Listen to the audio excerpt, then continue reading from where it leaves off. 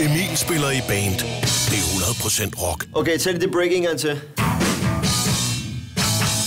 Emil spiller i et fedt band. Det er 100% rock. Rock and roll. Emil har utrolig stramme bukser på. Det er 100% rock. Og Emil går næsten aldrig i bad. Det er også 100% rock. Emil kan se gæk uden at dø af grin. Gæk. Det er 100% rock. Og han kunne sagtens have et job, men han gider bare ikke. Det er også 100% rock.